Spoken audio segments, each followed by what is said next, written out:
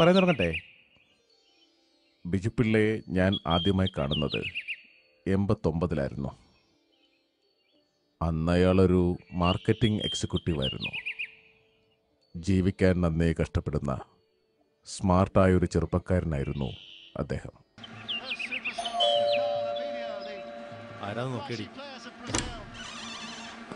ആരാ? Good afternoon madam എന്റെ പേര് ബിജു പിള്ള. ഞാൻ ഡബ്ല്യു എൻ ഡി എഫ് കമ്പനിയിൽ നിന്ന് വരികയാണ്. ഞങ്ങളുടെ കമ്പനി പുതിയതായിട്ട് പുറത്തിറക്കിയ ഒരു പ്രോഡക്റ്റ് പരിചയപ്പെടുത്താനാണ് മാഡം ഞാൻ ഇല്ല ഞാനൊന്ന് ജസ്റ്റ് ഒന്ന് ഡെമോൺസ്ട്രേറ്റ് ചെയ്ത് പറഞ്ഞില്ലേ? ഇല്ല ഇത് ഇത് പ്രത്യേകിച്ച് സ്ത്രീകൾക്ക് വളരെയധികം പ്രയോജനപ്പെടുന്ന ഒരു പ്രോഡക്റ്റ് വേണ്ടെന്ന് പറഞ്ഞില്ലേ? ഞങ്ങൾക്ക് ആവശ്യമില്ല. വാങ്ങിക്കണമെന്നില്ല ഞാനൊന്ന് പരിചയപ്പെടും ഇറങ്ങി പോടാ ഇവിടുത്തെ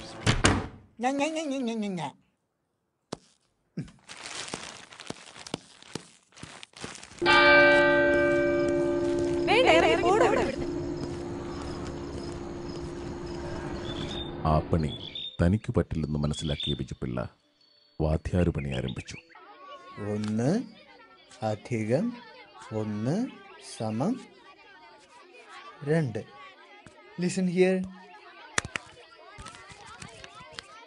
ഒന്ന് അധികം ഒന്ന് സമം രണ്ട്.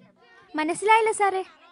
അതായത് ഒന്ന് എന്ന് പറയുന്ന സംഖ്യയോട് കൂടി മറ്റൊരൊന്ന് ചേർക്കുമ്പോൾ എന്ത് കിട്ടുന്നു? രണ്ട് കിട്ടും മനസ്സിലായില്ല. അതെന്തോടെ മലയാളത്തിലല്ലേ പറയുന്നത്? പിന്നെന്താ മനസ്സിലാവത്തെ? ഉം. ഒന്ന് അധികം ഒന്ന് സമം. മനസ്സിലാവുന്നില്ലേ? മനസ്സിലാകുന്നില്ല സാറേ. അങ്ങനെ പല പണികളിലും പരാജയപ്പെട്ട ബിജുപിള്ള മറ്റു പലരെയും പോലെ ഒരു കള്ളനായി തീർന്നു.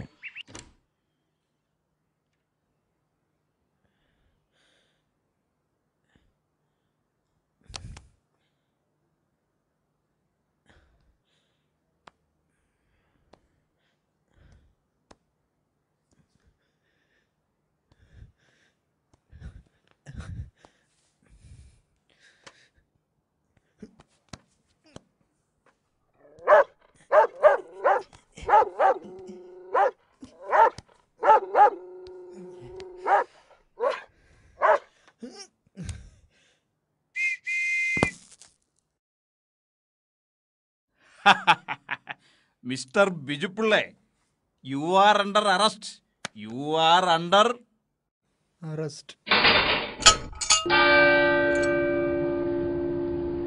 you are under arrest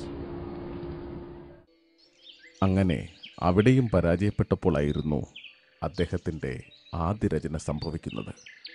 ഭാഗ്യവശാൽ അതുതന്നെയായിരുന്നു അദ്ദേഹത്തിന്റെ അവസാനത്തെ രചനയും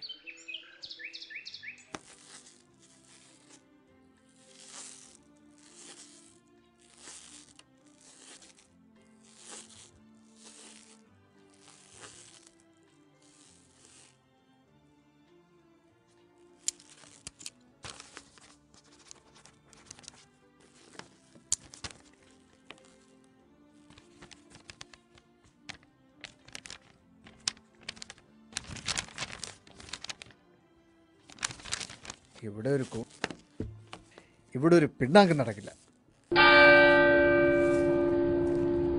ഇവിടെ ഒരു പിണ്ണാക്ക് നടക്കില്ല.